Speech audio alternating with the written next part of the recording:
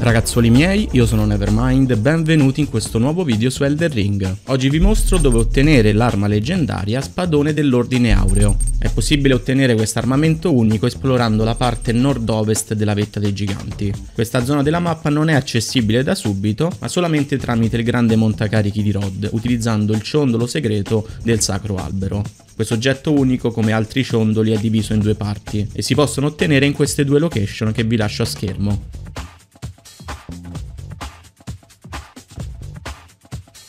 Una volta che avrete avuto accesso a questa parte della vetta, dirigetevi verso il fiume che la taglia a metà e tenendo alla destra avvicinatevi alla caverna dei desolati.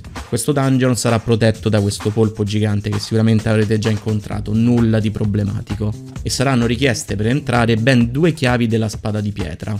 Una volta entrati avrete davanti secondo me una delle grotte più belle da esplorare in questo punto del gioco, ma è anche una delle più labirintiche, difatti tutto questo dungeon non vi regalerà chissà quale loot, troverete qualche runa e oggettini vari, ma se trovate il passaggio segreto tra i ghiacci, questo vi condurrà al livello inferiore. È la zona che dall'alto quando eravate diciamo sul piano superiore potevate vedere attraverso il pavimento. Qui in basso avrete accesso alla boss fight conclusiva, come al solito io non ve la spoilerò, ma sappiate che non è assolutamente nulla di complicato da superare. Una volta conclusa il vostro premio sarà lo spadone dell'ordine aureo. Quest'arma leggendaria scala E in forza, D in destrezza e C in fede, rendendola effettivamente un ottimo pezzo di equipaggiamento per le build fede forza o fede destrezza.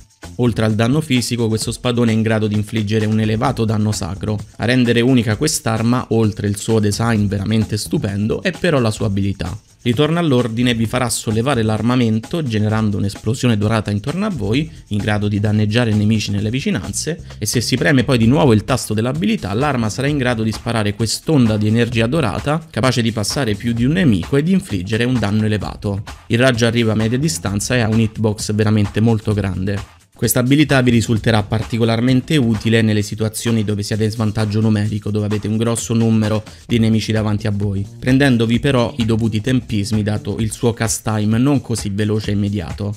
Bene ragazzuoli, vi ho mostrato dove ottenere lo spadone dell'ordine aureo, vi ripeto è un'ottima arma per le build che si focalizzano sulla fede, magari mettendo un pochino di forza e destrezza. Lo sto utilizzando anche io in quest'ultimo periodo e mi ci trovo abbastanza bene, è molto divertente da utilizzare, non sarà una delle armi più rotte all'interno del gioco, però la sua abilità unica la rende veramente forte e di base come arma forza o destrezza con fede non è così male. Fatemi sapere la vostra opinione se lo state utilizzando tramite un commento. Io come al solito spero di esservi stato utile, in tal caso magari lasciate un like e prendete in considerazione anche l'iscrizione a questo canale. Vi ricordo che c'è il gruppo Telegram attivo, siamo saliti tantissimo, dove potete partecipare, chiedere aiuti e chattare anche con gli altri ragazzuoli, ovviamente tutto spoiler free. Noi ci vediamo questa sera alle 8 e mezza con il continuo della live di Elder Ring, io vi abbraccio fortissimo per i 30k raggiunti su YouTube, io ero Nevermind, al prossimo video ragazzuoli, ciao ciao!